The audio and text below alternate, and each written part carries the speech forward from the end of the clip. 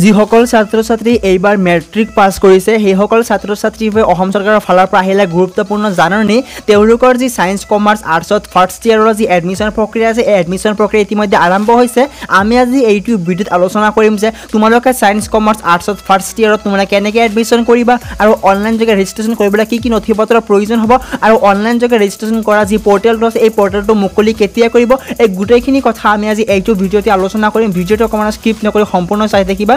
আৰু ভিডিঅ'টো আৰম্ভ কৰাৰ আগতে মই এটা সৰু অনুৰোধ জনাইছোঁ তোমালোকে যদি এতিয়ালৈকে আছাম অনলাইন টেক চেনেলটো ছাবস্ক্ৰাইব কৰা নাই চেনেলটো ছাবস্ক্ৰাইব কৰি ৰাখিবা। কাৰণ তোমালোকে জানা যে তোমালোকে এইটো চেনেলত প্ৰতিদিন এনেকুৱা ধৰণৰ ইনফৰ্মেশ্যন ভিডিঅ'বিলাক পাই থাকিবা গতিকে চেনেলটো ছাবস্ক্ৰাইব কৰি ৰাখিবা।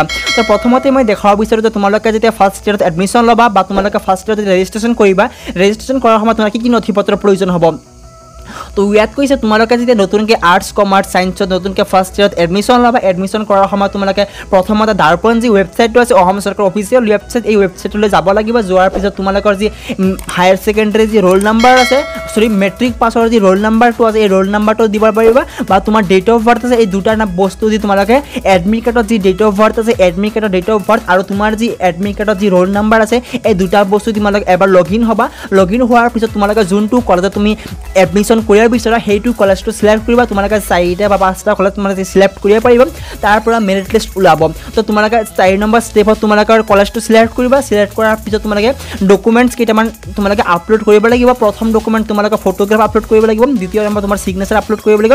তৃতীয় নম্বৰ তোমালোকৰ ৰেজিষ্ট্ৰেশ্যন কাৰ্ড তোমালোকে এডমিট কাৰ্ড তোমাৰ চাৰ্টিফিকেট বা তোমাৰ মাৰ্কশ্বিট বা তোমালোকৰ কাষ্ট চাৰ্টিফিকেট বা তোমাৰ প্ৰমাণ হিচাপে তোমাৰ আধাৰ কাৰ্ড এইবিলাক আপলোড কৰিব লাগিব। আপলোড কৰাৰ ছয় নম্বৰ তফাত লিখিছে তোমালোকে যেতিয়া এই ফৰ্মটো ফিল আপ কৰিবা ফিল আপ কৰাৰ পিছত তোমালোকে এটা প্ৰিণ্ট আউট কপি ওলাই যাব। এই প্ৰিণ্ট আউট কপিটো তোমালোকে ৰাখি দিবা। তোমালোকে যেতিয়া পাঁচদিন বা ছয়দিন পিছত তোমালোকৰ যি মেৰিট লিষ্টটো ওলাব সেই মেৰিট লিষ্টত তোমালোকে এই যি ফৰ্মটো প্ৰিণ্ট আউট হৈ আহিছে এই ফৰ্মটো তোমাৰ দৰকাৰ হ'ব।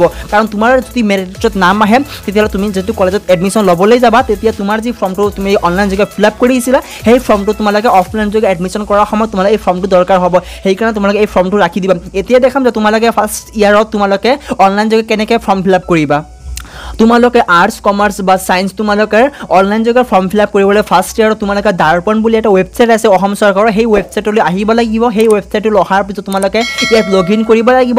দেখা যাচ্ছে লগ ইন এই নে ষ্টুডেণ্ট তোমাৰ ষ্টুডেণ্ট হৈ তোমালোকে লগ ইন কৰিব তো লগ ইন কেনেকৈ কৰিবা? তোমালোকৰ যি ৰোল নাম্বাৰ আছে ৰোল নাম্বাৰ আৰু তোমালোকৰ যি এডমিট কাৰ্ডত যি ডেট অফ বাৰ্থ আছে এই দুটা বস্তু দি তোমালোকে লগ ইন কৰিব পাৰিবা। লগ ইন কৰাৰ পিছত তোমালোকে কোনটো কলেজত তুমি এডমিশ্যন ল'ব বিচৰা সেই কলেজটো তোমালোকে চিলেক্ট কৰিবা। চিলেক্ট কৰাৰ পিছত তোমালোকে কিছুমান ডকুমেণ্ট আপলোড কৰিব লাগিব আপলোড কৰাৰ পিছত তোমালোকে এটা প্ৰিণ্ট আউটৰ কপি আহিব সেই কপিটো তোমালোকে ৰাখিবা আৰু যেতিয়াই তোমালোকৰ কলেজত মেৰিট লিষ্ট ওলাব তোমালোকে চাৰি বা পাঁচদিন পিছত তোমালোকৰ মেৰিট লিষ্ট ওলাব তাৰপিছত তুমি যদি চিলেক্ট হোৱা তেতিয়াহ'লে তুমি সেই কলেজত গৈ এডমিশ্যন ল'ব পাৰিবা। তো এইটো আছিলে সৰু এটা ইনফৰ্মেশ্যন ভিডিঅ' যদি ভিডিঅ'টো ভাল লাগিছে লাইক কৰিবা আৰু চেনেলটো যদি নতুন চেনেলটো ছাবস্ক্ৰাইব কৰি ৰাখিবা আজিলৈকে এইখিনিতে।